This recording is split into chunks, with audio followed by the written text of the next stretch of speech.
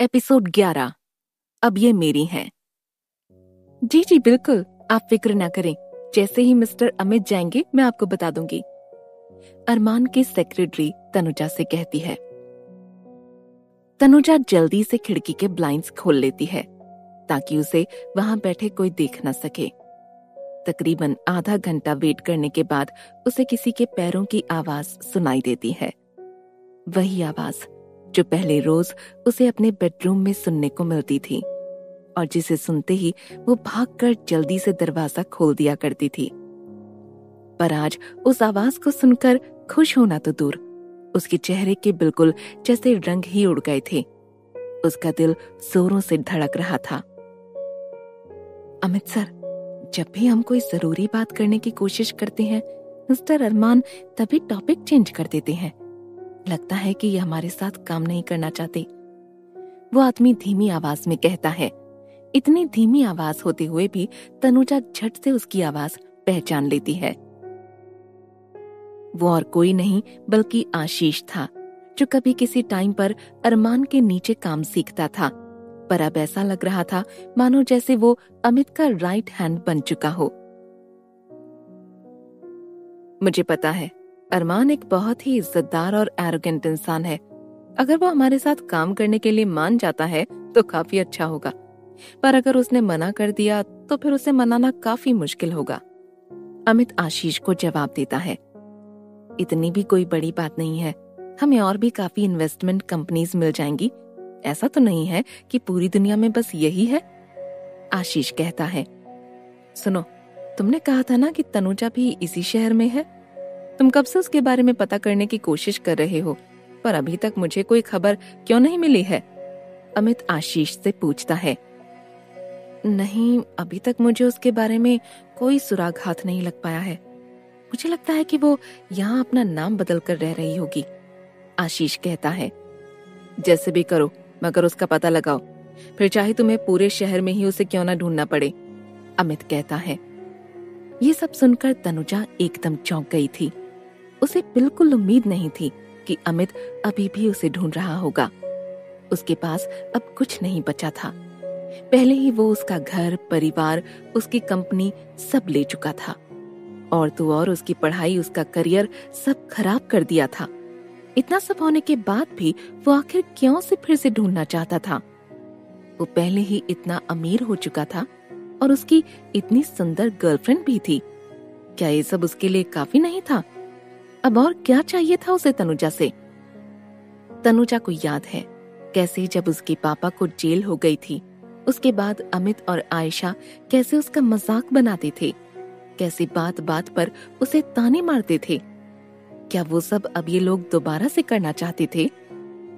इन सब चीज़ों के बारे में सिर्फ़ सोचने भर से ही तनुजा कांपने लगी थी। तभी अरमान की सेक्रेटरी वहाँ आती है और तनुजा से कहती है वो लोग जा चुके हैं और अरमान सर आपको बुला रहे हैं। ठीक है, तनुजा उसे जवाब देती है। थोड़ी देर लेकर खुद को शांत करती है और अरमान के पास जाने लगती है। इस समय अरमान के साथ रहना ही उसके लिए सबसे सेफ़ जगह थी। उसको देखते ही अरमान कहता है, बड़ी देर लगा दी तुमने बाथरूम में? मुझे तो लगा गिर विर गई होगी तुम वहीं। तनुजा चुप रहती है। जिमी उसके लिए जवाब देता है यार मुझे तेरी बात समझ नहीं आती। हमारी मीटिंग चल रही थी, इसलिए बेचारी कब से बाहर खड़ी रही, ताकि हमें डिस्टर्ब ना करे, और तू उसी पे चिल्ला रहा है। इतनी अच्छी केयर टेकर है ये, और तुझे भी इससे थोड़ा तमीज से पेश आना चाहिए। अब मैं यहाँ से जा रहा हूँ तो जैसे इंसान के साथ इस टाइम और नहीं रुक सकता मैं। दोपहर के एक बजे वो सब वापस से घर पहुँचे। अरमान को बिल्कुल भी भूख नहीं थी, पर तनुजा की भूख के मारे हालत खराब हो रही थी। वो जल्दी से अपना खाना लेकर डाइनिंग टेबल पर जाकर बैठ गई और मज़े से अपना खाना खाने लगी। अरमान उसे घूरता है और सोचने लगता है कि कैसे तनुजा पहले से ज़्यादा तमीज से और अच्छे से अपने सारे काम करने लगी है, जब से उसकी माँ ने उससे कहा है कि वो उसके साथ खाना खा सकती है। अब वो उसे डांटना चाहता था, पर उसे कोई बहाना नहीं मिल रहा था। क्योंकि वो बड़े आराम से, बड़ी तमीज के साथ, बिना आवाज़ किए, आराम से अपना खाना खा रही थी। उसे खाना खाते देख ऐसा लग रहा था। मानो किसी अच्छे घर की लड़की वहाँ बैठी हो, जो बिना बिल्कुल भी शोर किए, बस अपना खाना खा रही हो। सारे टेबल मैनर्स को ध्यान में रखते हुए। तनुजा को एहसास हुआ कि कोई उसे देख रहा है। जैसे ही वो ऊपर मुँह करके देखती है, उसका अरमान के साथ आई कांटेक्ट हो जाता है। अरमान अपने ही कुछ ख्यालों में गुमसा था।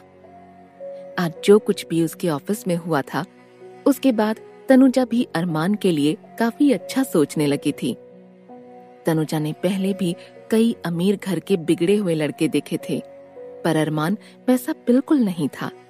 हाँ थोड़ा खड़ूस ज़रूर था, पर उसे सही गलत की अच्छे से समझ थी। उसे अपने हक के लिए अगर लड़ना आता था तो वो उसी तरह किसी और के हक के लिए भी लड़ने के लिए तैयार था। लोगों की इज़्ज़त करना उसे अच्छे से आता था। मुझे माफ़ कर दीजिएगा, दरअसल मुझे बहुत भूख लगी है, तनुजा कहती है।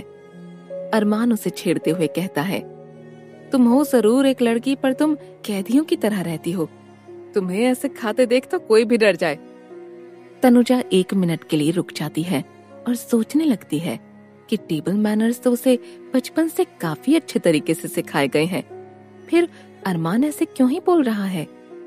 शीना वहाँ खड़ी चुप नहीं रह पाती और तनुजा की तरफ़ तरफदारी करते हुए कहती है, माफ़ कीजिएगा सर, पर अगर तनुजा को ठीक ढंग से खाना खाना नहीं आता तो बाकी हम सबको तो मर ही जाना चाहिए।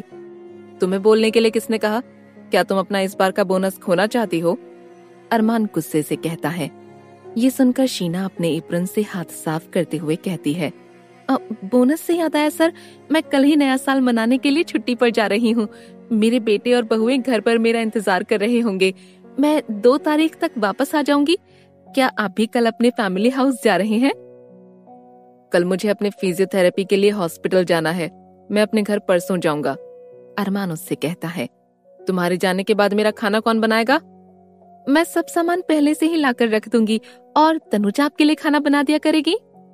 शीना थोड़ी देर के लिए सोचती है और फिर कहती है, वैसे भी तनुजा काफ़ी अच्छा खाना बना लेती है। बिल्कुल नहीं, ये बहुत ही बेकार चीज़ें बनाती है। अरमान अजीब सी शक्ल बनाकर कहता है।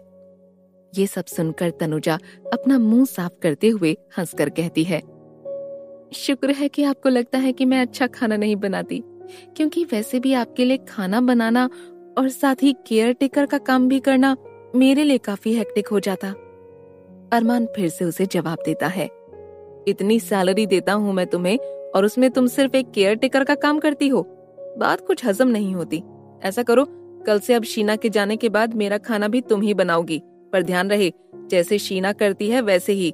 तीनों टाइम चार सब्ज़ियाँ और सूप तनुजा जान जानबूझकर ऐसा दिखाती है, जैसे वो इतना सब सुनकर परेशान हो गई हो। ये सब देखकर अरमान बहुत खुश हो जाता है। लंच के बाद तनुजा किचन में शीना की मदद करने लगती है, कि तभी शीना उससे पूछती है, तुमने जानबूझकर बाहर वो सब बोला ना? ये सुनकर तनुजा हंस पड़ती है। सर कभी कभी बिल्कुल बच्चे बन जाते हैं। जो भी कोई कहता है, बस उसे जवाब देते हैं, मना कर देते हैं। शीना कहती है, पर अब इससे तुम्हारा काम तो बढ़ ही गया है। तुम फ़िक्र मत करो, मैं सारा सामान ले आई हूँ पहले ही। तुम्हें बस खाना बनाना है। कोई बात नहीं शीना मैं कर लूँगी। तनुजा जवाब देती है। अगले दिन सुबह का नाश्ता बनाते ही शीना वहाँ से चली जाती है और ड्राइवर के आते ही अरमान और तनुजा भी हॉस्पिटल के लिए निकल जाते हैं। अरमान की फिजियोथेरेपी आधा घंटा चली। तब तक तनुजा बाहर बैठकर अपने फ़ोन पर गेम खेल रही होती है कि तभी डॉक्टर तरुण वहाँ से निकलते हैं। तनुजा को वहाँ बैठे देख वो उससे बात करने के लिए रुक जाते हैं। अरे तनुजा, कैसी हो तुम? मैंने मनीषा से सुना कि आजकल तुम अरमान जी के यहाँ उनकी केयर टेकर बनकर काम कर रही हो। ठीक चल रहा है सब? जी, मैं बिल्कुल ठीक हूँ। तनुजा जल्दी से उन्हें देखकर खड़ी हो जाती है। डॉक्टर तरुण ने उसकी पहले काफ़ी मदद की थी, जब वो इस प्रोफेशन और इस शहर में नई आई थी। डॉक्टर साहब, आप नए साल के लिए छुट्टी पर नहीं जा रहे क्या? वो पूछती है। हम डॉक्टर्स की कहाँ कोई छुट्टी होती है? आजकल तो वैसे ही इतने एक्सीडेंट्स हो रहे हैं कि हॉस्पिटल सारा टाइम फुल रहता है। पर हाँ एक दिन का ऑफ़ लूँगा मैं। मैंने सुना है नए साल वाले दिन एक नई पिक्चर आ रही है। तुम्हारे पास टाइम हो तो साथ ही चलते हैं देखने। डॉक्टर तरुण तनुजा से पूछते हैं। तभी अरमान भी वहाँ आ जाता है और उन दोनों की सारी बातें सुन लेता है। डॉक्टर की तरफ़ देखकर वो कहता है सॉरी डॉक्टर पर अब ये मेरी हैं।